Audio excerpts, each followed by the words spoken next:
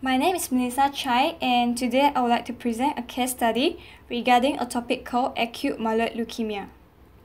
So the aim of this case study is to identify the common clinical presentations of a patient with AML, to investigate the clinical findings, manifestations and lab diagnosis of AML, and to determine the diagnosis and treatment for the patient with AML. So what is acute myeloid leukemia? From the words, we can see that acute means that the disease rapid progressions and myeloid leukemia is because it affects a group of white blood cells called myeloid cells. Acute myeloid leukemia is the most typical acute leukemia affecting the adults. It is a cancer of the myeloid lines of blood cells characterized by the rapid growth of abnormal cells that build up in the bone marrow and the blood. It is a blood cancer that begins in the bone marrow which produce most of the body new blood stem cells, and the stem cell will develop into the myeloid or the lymphoid cells. In AML, the myeloid stem cells do not mature properly and become abnormal white blood cells called myeloblasts. On the right side is a figure showing the blood stem cell lineage. So acute myeloid leukemia is the one affecting the myeloid stem cells. The myeloid cells is included the red blood cells, platelets, and all the white blood cells except lymphocyte. So normally, the myeloid stem cell will mature into white blood cells that fight for infections, the red blood cells that carry oxygen, and platelet that enable clotting. In acute myeloid leukemia, they lose the ability to differentiate or mature into one of these cells. When they can't differentiate, they start to build out of blood cells and crowd the bone marrow, preventing it from making the normal blood cells. They also can split out into the bloodstream and circulate around the body. Next, the risk factor of AML. Although AML can occur in any ages, but the risk of getting AML increase with age. It is the most common in adults whose age is 60 years old and above. Other than that, the men are more likely to develop AML than a woman. Previous cancer treatment refers to people who have certain types of chemotherapy or radiation therapy.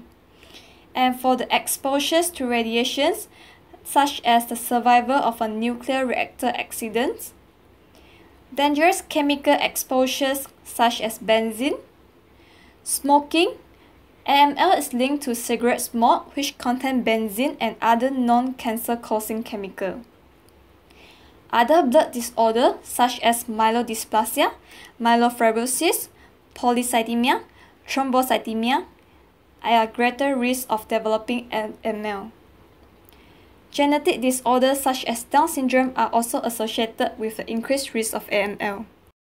So for the symptoms of acute myeloid leukemia are fever, logitis and fatigue, shortness of breath, pale skin, frequent infections, easy bruising and unusual bleeding such as nosebleed and the bleeding from the gum.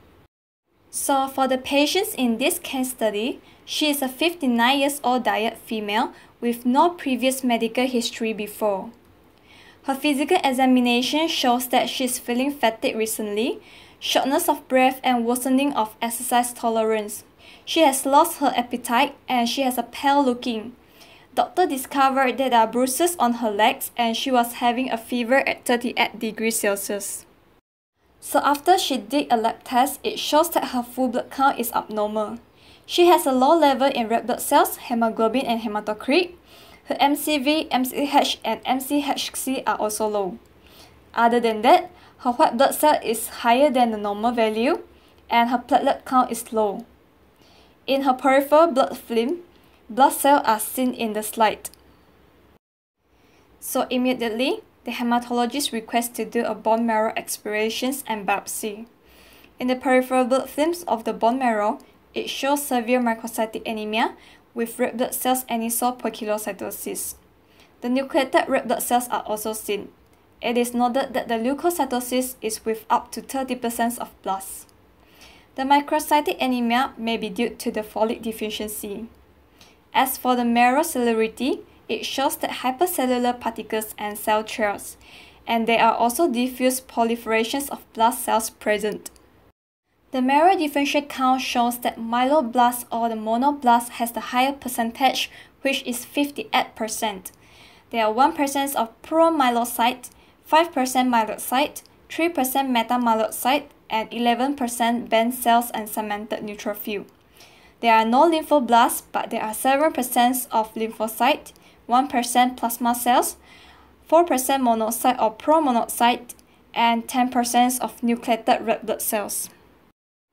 For the other laboratory tests, such as the cytochemical stain, it shows that the Sudan black B positive. It is hypercellular marrow with obvious infiltrations by blasts up to 60% of the total marrow nucleated cells. As for the flow cytometry, the immunophenotyping shows that it is compatible with the acute myeloid leukemia. So overall of all these laboratory diagnoses, it shows that this patient is diagnosed with the acute myeloid leukemia. So, for the discussion of this case study, it shows that the incidence of acute myeloid leukemia in Malaysia population is 2.9 per 100,000 person, which is lower than the white population 3.8 per 100,000 person. And this could be due to the geographical, environmental, and ethnic differences. AML is the most common acute leukemia in adult. Although the statistics says that male is higher risk than the female, but in Malaysia previous case study, it shows that male is 51% and the female is 49%. So it occurs equally in males and a female. And for our patient, she is a female. And anemia and thrombocytopenia are the most common presentations of acute myeloid leukemia. The cause of AML in this patient is unknown as she has no previous medical history before and she is not highly related to the risk factor. The full blood count and the peripheral blood film are used to identify the acute leukemia. As for the confirmation, the flow cytometry, bone marrow biopsy, and the cytochemical stain help to confirm the diagnosis of the acute myeloid leukemia. A rapid diagnosis adds in the better treatments for the patient conditions, as this type of cancer usually get worse quickly if it is not treated as soon as possible. In conclusions, the clinical patterns of the case reported is relatively similar to the previous case report. An older patient has poor prognosis for ML as it has the lowest survival rate compared to the other types of leukemia. In general, the 5-year survival rate is about 20 to 25% for a normal adults. However, in elderly patients, the survival rate is even worse. So the earlier recognition is the cornerstone of management. AML remains a tough challenge despite advances in our understanding of molecular mechanisms and prognostic impact. Therefore, it is important to improve for better and rapid diagnosis and treatments for AML to reduce the mortalities of patients. So that's all for my presentations. Thank you.